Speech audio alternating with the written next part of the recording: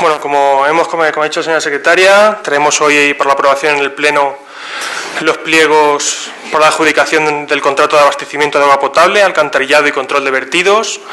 En definitiva, lo que es el ciclo integral del agua, ya que el contrato anterior finalizó en 2015. Desde entonces estamos preparando los nuevos pliegos. Ha habido varios problemas administrativos que han retrasado el proceso y los traemos para su aprobación al Pleno. ¿Cuáles son los objetivos que el equipo de gobierno se marcó en la realización de estos pliegos. Los objetivos son muy claros. El primero es no subir la tarifa. El segundo, hacer las inversiones necesarias en la red de abastecimiento de alcantarillado. Y el tercero, no endeudar más al Ayuntamiento de Requena. ¿Por qué no queremos subir la tarifa? Evidentemente, para no tocarle el bolsillo a la ciudadanía. Sí que hay un incremento testimonial del 1% que teniendo en cuenta que permanecerá estable la tarifa durante los próximos tres años, viene a ser un cero y pico por ciento, eh, depende del consumo, que es lo máximo que hemos podido ajustar, pero bueno, un incremento testimonial. Y esto sitúa la tarifa de Requena aproximadamente en la mitad de lo que se paga en la, media de la comunidad valenciana. El lago Requena cuesta aproximadamente la mitad que en la comunidad valenciana. Ahora y con el nuevo contrato. ¿Por qué hay que hacer las inversiones necesarias en el municipio de Requena? Porque la situación con el agua en Requena es crítica. Un 42% del agua se pierde desde que sale del pozo hasta que abrimos el grifo en nuestras casas. Un 42% se pierde por el camino debido al mal estado de, de la infraestructura del agua en Requena.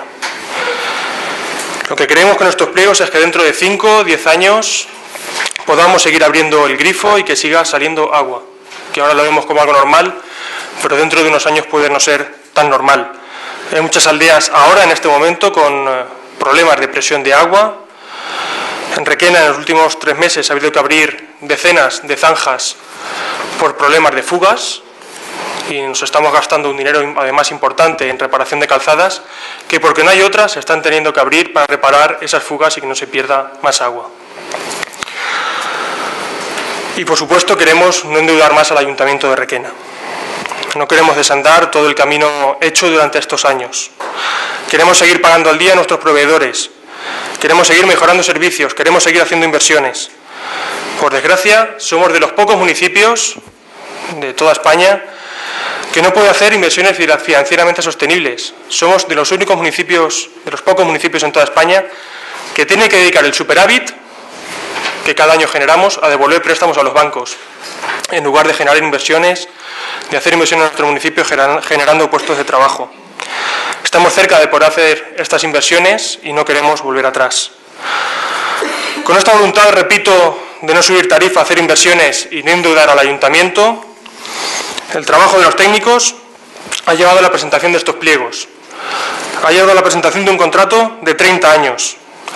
Parece que el gran problema de este contrato es la duración. Parece que el gran problema de este contrato sean esos 30 años. Que el contrato está bien, pero que, son, que, es mucho tiempo. A mí tampoco me gusta que sean 30 años.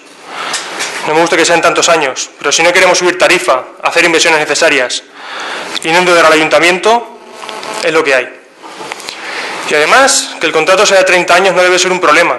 Y no debe ser un problema porque se va a aumentar ostensiblemente el control sobre la empresa. Un control que ahora es mínimo.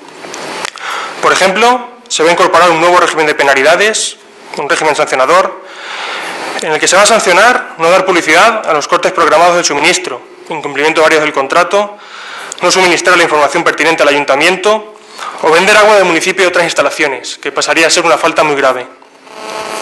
Además, el futuro concesionario tendrá la obligación de adherirse al sistema arbitral de consumo de la comunidad valenciana para la solución de diferencias sobre la facturación que puedan suscitarse con, con, los usuarios del servicio.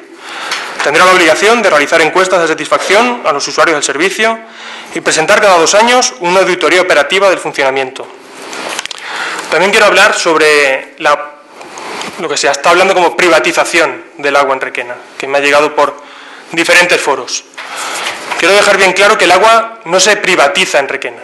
Lo que se hace es una externalización, que según la RAE Real Academia de la Lengua Española es dicho de una empresa o de una institución pública, encomendar la realización de tareas o servicios propios a otra empresa.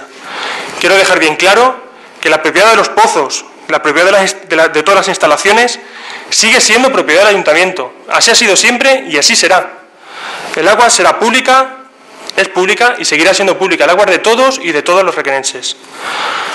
Solo que el servicio le presta una empresa. Y el servicio le viene prestando una empresa desde el año 1995. Hace ya 23 años, si no me equivoco. No es algo nuevo que vayamos a inventar ahora. Además, tenemos el riesgo de que si no se aprueban hoy estos pliegos, eh, Gebasa ha presentado una propuesta de subida de tarifa que vendría a ser una media de una, subida de un 16 y pico por ciento en la tarifa del agua. Una subida de un 16% unido a que se de, obviamente no serían nuevas inversiones como si se realizarían con el nuevo contrato.